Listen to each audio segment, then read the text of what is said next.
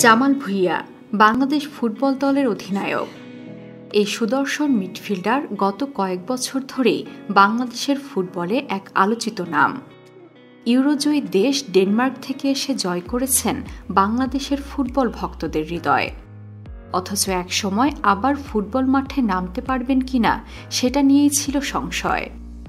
জীবন ও ক্যারিয়ারের নানা চড়াই উত্তরায় দেখা জামাল ভুইয়ার গল্পই শুনব আজকে।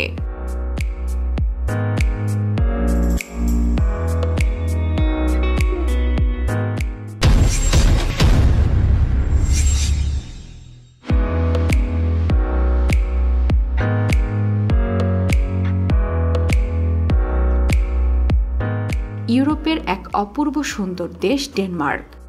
বলা হয় পৃথিবীর সবচেয়ে সুখী দেশগুলির মধ্যে একটি। সুন্দর ভবিষ্যতের খোঁজে ইনসান ভুইয়া উনিশশো ষাট সালে পাড়ি জমিয়েছিলেন ডেনমার্কে। সেখানেই তার তিন সন্তানের জন্ম। এর মধ্যে সবচেয়ে ছোটটির নাম জামাল ভুইয়া। ছোটবেলা থেকেই ফুটবল নিয়ে পড়ে থাকতেন জামাল। ছিলেন দারুণ প্রতিভাবান। তাই ষোলো বছর বয়সে প্রথমে চুক্তিবদ্ধ হন ডেনমার্কের এফসি কোপেনহেগেনের একাডেমিতে। এটি ইউরোপেরই অন্যতম পরিচিত ক্লাব ও একাডেমি। স্বপ্ন দেখেছিলেন একাডেমি দল পেরিয়ে মূল দলে খেলবেন। তারপর হয়তো ডেনমার্কের জাতীয় দলে। কিন্তু এমন সময়ে জীবনে নেমে আসে চরম এক দুর্ঘটনা। কোপেনহেগেনের মতো এক শান্তিপ্রিয় শহরে একদিন শুরু হয় তুমুল গোলাগুলি। দশ মিনিট ধরে চলা সেই ভয়ানক সময়ে গোলাগুলির মাঝখানে পড়ে যান জামাল ভুইয়া। একে একে চারটি গুলিবিদ্ধ হয় তার শরীরে। চলে মৃত্যুর সঙ্গে চার মাসের যুদ্ধ। মৃত্যু দুয়ার থেকে ফিরে আসা কিশোরের যেন ভাবতেই কষ্ট হচ্ছিল, সে বেঁচে আছে।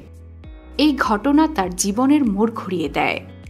এফসি কোপেনহেগেনের হয়ে খেলার স্বপ্ন বিসর্জন দিতে হয়। তখন এক নতুন স্বপ্ন দেখা শুরু করেন তিনি। লাল সবুজ জার্সি গায়ে জড়ানোর স্বপ্ন।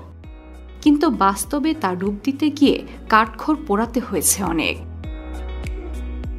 দুই হাজার নয় থেকে দুই হাজার এগারো সাল পর্যন্ত ডেনিশ ক্লাব হ্যারালাপ আইতে খেলার পর ফিলিপাইন ক্লাব স্ট্যানিয়ন্স এফসিতে খেলেন। দুই হাজার এগারো সালে তখনকার কোচ নিকোলা ইলিয়েভস্কির অধীনে ট্রায়াল দিতে বাংলাদেশে আসেন, কিন্তু টিকতে পারেননি সেবার। মাঝে একবার চীনেও খেলেন। দুই হাজার তেরো সালে আবার ঢাকায় আসেন। ডাচ কোচ লুডভিক ডি ক্রোইফের আস্থা অর্জন করেন জামাল ভুইয়া। দুই হাজার তেরো সালে কাঠমান্ডু সাফে নেপালের বিপক্ষে অভিষেক হয় জামালের। যদিও সে ম্যাচে বাংলাদেশ দুই শূন্য গোলে পরাজিত হয়। উনিশ আগস্ট দুই হাজার আঠারো সালে এশিয়ান গেমস ফুটবলে অতিরিক্ত সময় তার গোলে প্রথমবারের মতো বাংলাদেশ কাতার অনূর্ধ্ব তেইশ দলকে হারায়।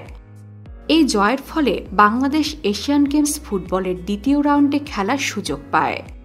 তবে জাতীয় দলের হয়ে জামাল ভুইয়ার সবচেয়ে স্মরণীয় টুর্নামেন্ট হল বঙ্গবন্ধু গোল্ড কাপের প্রথম আসর। সেবার ফাইনালে শেষ মুহূর্তের গোলে মালয়েশিয়ার কাছে বাংলাদেশ হারলেও পুরো টুর্নামেন্টে অসাধারণ পারফরমেন্সের জন্য ম্যান অব দ্য টুর্নামেন্ট নির্বাচিত হন জামাল ভুইয়া। বাংলাদেশ ফুটবলকে নেতৃত্ব দিচ্ছেন দুই হাজার আঠারো সাল থেকে। তার অধীনেই এগিয়ে যাচ্ছে বাংলাদেশ ফুটবল দল। ফুটবলের হারানো ঐতিহ্য ফেরাতে একটু একটু করে চেষ্টা করে চলেছেন। দুই হাজার বাইশ ফুটবল বিশ্বকাপ বাছাই পর্বে খুব ভালো কিছু করতে না পারলেও আর যাই হোক, মাঠের পারফরমেন্স খারাপ ছিল না। জামাল ভুইয়া শুধু ফুটবলারই নন, একজন ভালো ধারাভাষ্যকারও। স্প্যানিশ লালিগার দুটি ম্যাচে তিনি ধারাভাষ্যকার ছিলেন।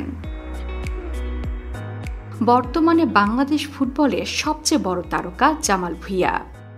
মৃত্যুযুদ্ধে জয়ী জামাল ভুইয়ার হাত দিয়ে বাংলাদেশ ফুটবলের সুদিন ফিরে আসুক। এই শুভকামনাই থাকবে সবসময়। ফুটবলের এমন গল্প জানতে সাবস্ক্রাইব করুন ফুটবল বিশ্ব।